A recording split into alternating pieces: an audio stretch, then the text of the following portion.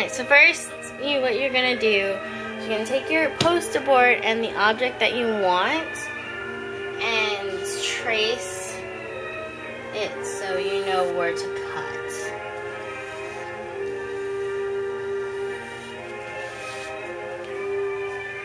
Sorry, you can't really see that. As you can see, I traced exactly what I want to cut.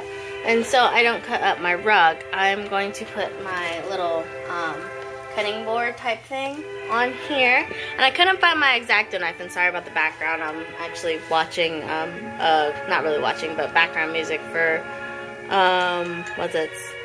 Some Christmas movie. And that's my phone. Anyway, and I couldn't find my X-Acto knife, so I'm using my Martha Stewart cutter thing. And I'm just to press down and cut.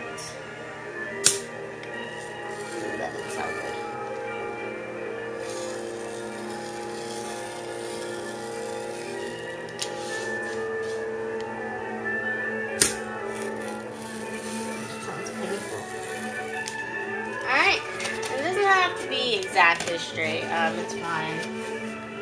Because that's the beauty of DIYs and doing like stuff by yourself. It doesn't have to be perfect, and the imperfections is what makes it awesomeness.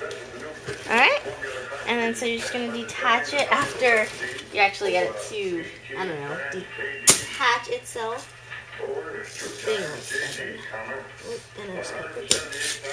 Good. Alright, and so there you go. Make sure you plug in your your hot glue gun um, beforehand.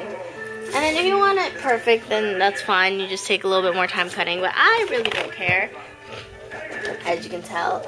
Alright, so what you can do is you're going to fit your cardstock. It's going to be kind of like wrapping. And what you're going to do is, oh, you can't even see that. What you're going to do is kind of like wrapping. You just fold it. And if you need to, you can make cuts.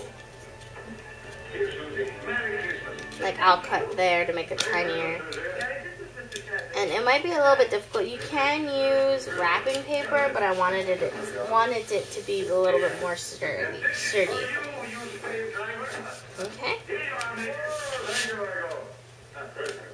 Nothing but a merchant holiday. Uh, what the chickens is this? Alright, and then after you fold it up all sides and glued them, we'll get on to the next step.